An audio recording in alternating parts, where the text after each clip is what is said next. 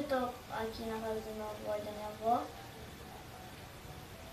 Hoje eu vou mostrar a coleção dos carrinhos que eu tenho. Praticamente vocês, eu tenho 60 carrinhos só tônica. Os tônicos eu acho que tenho menos de, de, Hot, de Hot Wheels assim, né? Eu tenho um pouco mais já.